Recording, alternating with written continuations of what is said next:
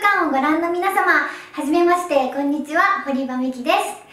今回は声優図鑑さんにインタビューをしていただきました。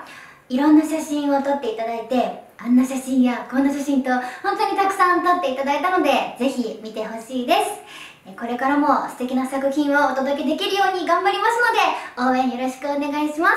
以上、堀場美希でした。バイバーイ。